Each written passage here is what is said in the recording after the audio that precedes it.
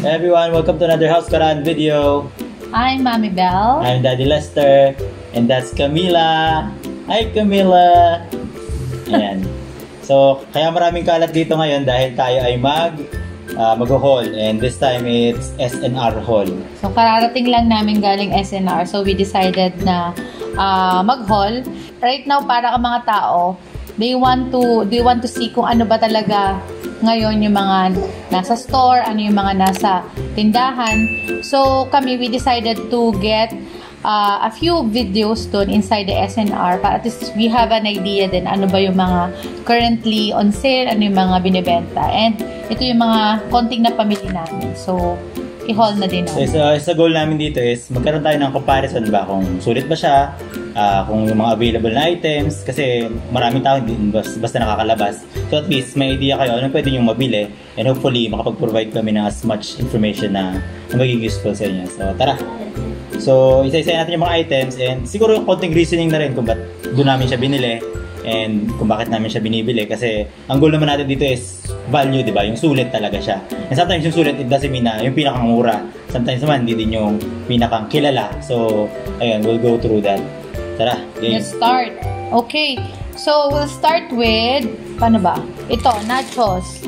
So, ito, uh, since mahilig kami mag, uh, ng nachos and meron akong existing na salsa dito. So, bumili na ako ng ganito na pack. So, ilagay na lang namin sa video yung mga presyo. Isang magiging common thing na makakita nyo sa SNR kung hindi pa kayo familiar is talaga yung yung malalaking sizes. Doon siya mas nakuha mo yung value, yung pagiging sulit niya dahil mas nakuha mo siya in bulk and yun, tinitingnan namin yung competition. Minsan hindi, hindi mo na talaga compute on the spot pero uh, pag, kapag familiar ka sa prices niya outside, pag binili mo siya ng bulk, okay, mas makakasulit. Mas makakamura. So parang kami ganun. Yung mga basic namin na lagi talaga namin ginagamit like shampoo, sabon, uh, mantika, yung mga wala kang choice kundi gamitin yon mas prefer namin na bumili sa SNR kasi bulk, uh, bulk siya. Pag kinumpute namin siya per piece or per liter, mas makakamura kami. So, usually, yun lang yung... Hindi mo kukuha yung mga ganong malalaking sizes uh, sa mga supermarket. Sa mga supermarket.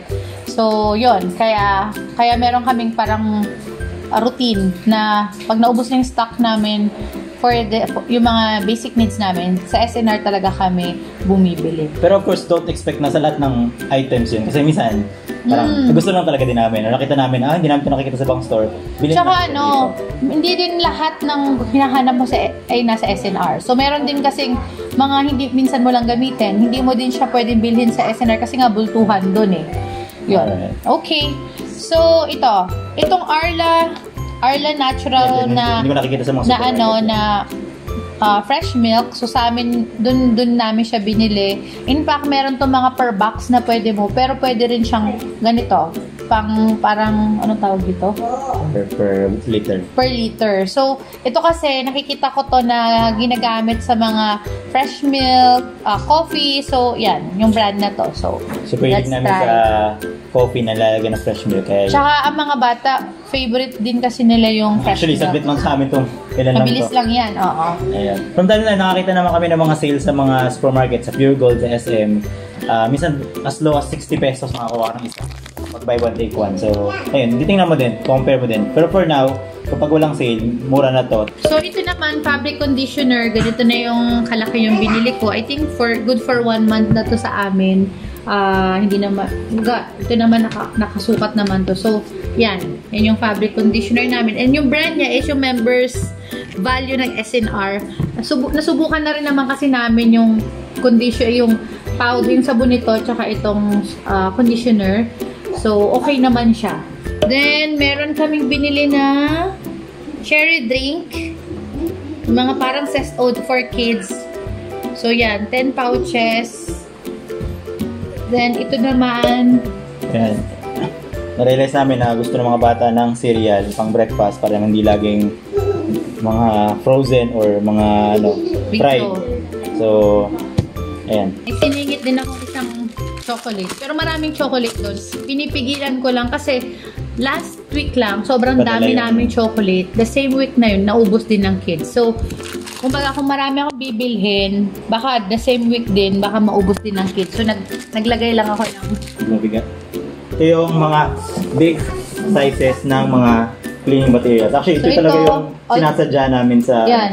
Yung mga all-purpose, all-purpose cleaner, ito tumatagal sa amin to ng more than a month eh. Matagal to. on the so, ginagamit namin, screen. ginagamit namin siya sa sa floor, sa mga surface, Para ma-compare nyo na rin kung mas mura o mas ano. So ito ay uh, 3,600 ml ng Zone Rocks. Yan. Ito Zone Rocks talaga palagi namin Laging ginagamit. ginagamit to eh. Toilet bowl cleaner, Domex. Domex. So, So, by, twin pack siya. Meron pa siyang mga per box doon. So, pero binili lang namin twin pack. I think enough na to sa amin for a month.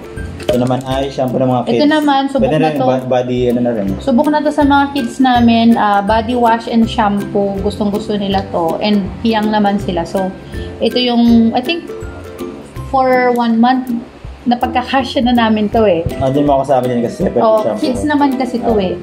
So, Ayan, speaking of shampoo, ito yung malalaki. Mga shampoo namin ito, ito yung shampoo, Dove. conditioner, Dove yung Ano yung ginagamit brand sa akin? namin Yung brand. din Sa'yo yun. naman black, pero black yung pampa hair growth. Actually, gusto, gusto ko kasi nasa, I think nasa 500 plus to. Pero parang gusto kong bilhin yung galon talaga, one- 1,000 plus yon. Kailangan ko lang siyang tingnan kung gaano kabilis sa amin maubos to. Apat pala tong milk. Yeah.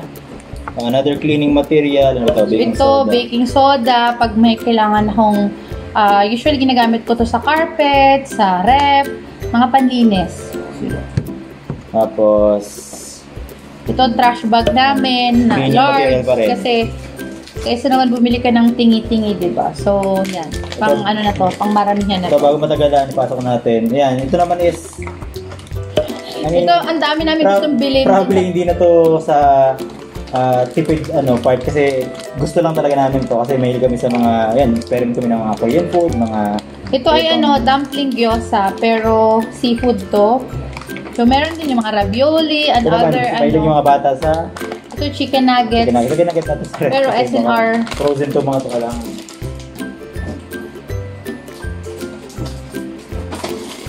Ito, additional chocolate. Hindi lang pala. Dalawang pack pala binili ng chocolate. Tapos, ito. Ito naman, isinamak na suka dahil mahilig ako sa Ano maanghang and flavored suka. Ano to? Ito, sumingit ako ng sparkling wine. Wala lang. Ito naman. Ito naman is, ah, ito yung gusto ko sa SNR. Yung mga, kung gusto mo na gumawa ng pasta, so nandun Mga na yung mga ready-made na mga sauce. So like ito, Alfredo sauce siya. Meron, iba-iba doon, mamimili ka na lang. So, yun yung gusto ko sa SNR talaga. Yun, yun yung Yung mga, choices din na hindi mo usually makikita sa mga supermarket. I think may mga kasama pa to. So, ano lang to, Yung Iba, tigigisa na lang. Gusto lang yung try namin. Mga hindi... mga luncheon meat, mga ham, try lang namin. Ito, ano to? Ito ay noodles ramyun. Cheese, ramyun. Kasi maraming Korean Mga inspired Korean. food. Pero maraming Korean store dito sa amin kaya kumbaga hindi naman kailangan dun bilhin lahat. Kasi yung mga mart dito parang tatlo or apat yung malapit sa amin. Ito naman mga pasta toscana. So, ano to? Iba-iba. Mga puccini, fettuccine. Iba-ibang ano lang. Iba-ibang variants lang. If in case na gusto namin ng mga merienda na pasta, gumagawa kasi kami ng mga iba-ibang klaseng pasta iba-ibang flo- ah ah, ano bang tawag doon? Sauce. So, depende sa mood. Actually, si daddy yun ang gumagawa. So, yan. May mga naka-ready lang kami mas na siguro gawa tayo ng mga video ng mga iba-ibang recipe ng pasta para ma-share din natin. Ito naman, isang kilong Mani. ah, mani. Ala, ah, super garlic. Oo. It favorite kasi ng mani dito sa bahay. So, yung mga kids favorite din nila. Ito, mantika, toyo, Suka. yan, suka. So, malalaki na. Regular mo talagang ginagamit. Ayan, ano yan. I think more than a month namin magagamit yan. Sobrang... Tapos meron na kayong So, mga magre-refill. lalagyan, refill na. Oh, may mga lalagyan na kasi kami na meron ng parang label. I-refill na lang. Ito naman, mga muffins. Kasi meron Meron dun section na bake ano, mga bake section, mga cake. Actually, lagi na namin itong binibili. Mura, mura siya pero masarap. So, ito kasi, syempre pwede natin itong pang breakfast, na Merienda. ano, merienda. So, yan. Ito din. Ito, ah, ako pumili na ito. Kasi matagal ko nang gusto ng canister para sa mga, mga, yan, mga food. Kasi dami nga namin kung ano nang in-store na food. So, might as well. yung mas maayos na lalagyan. So ito, airtight. And yung size na hinahanap ko, gusto ko kasi pag, pag ano, kasi yung kamay mo. So, pakita ko sa inyo. Ayan, yun lang maliliit lang, pero isang set siya eh. Pero ito yung pinang gusto ko talaga, ito mataas, mataas na to. May mga set doon ah, set of 5, set of 8, so set of 4 lang yung kinuha ko.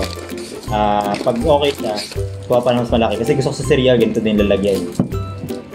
And last but not the least siguro, Yung Um, isang timbang ano, Yan, palang sulit talaga yan. laundry detergent. Ito super sulit sa amin to. As in, nag, kinumpute-compute pa namin to eh kung magkano yung nasisave na. mura pa siya sa mga surf, mga murang Oo, mura pa siya. Pero oh, maganda yung ano, maganda yung quality. ng sabon na to. So, ayun lang naman. ah hopefully, may nakuha kayong useful information if you're going to consider buying sa SNR. Ay, Ah, and yun, makompare nyo sa ibang sa ibang bilihan. And yun nga, if you're looking for bulk, yung malalaking sizes, then definitely SNR yung pinaka-available dito sa atin sa Pilipinas na. And of course, membership shopping siya. If you want to know more about yung experience namin SNR, meron kaming another video na pwede nyo ma-check. Link ko na lang sa description box diba? And we- we're planning to do series of videos like this para yung mga mabibili pa namin, ma-compare natin kung sulit ba o hindi. And we have other attempts na hindi nyo alam na ah, available pala doon, then you can see that on these videos. Di ba pag magki-Christmas, ang dami mga buy one, take one. Para tapos meron kayong idea. And speaking of Christmas, may mga akong footage na mga available na mga decors, kung ano mga items na for for Christmas. Mm. Gawin ko din siya ng video para ma-share na sa inyo. Malay nyo, hinahanap nyo, wala pala doon sa mga regular natin ng mga supermarket. Kaya makikita nyo dito. Okay, so that's it for our video today. Thank you so much for watching House Karaans and see you on the next video. Bye!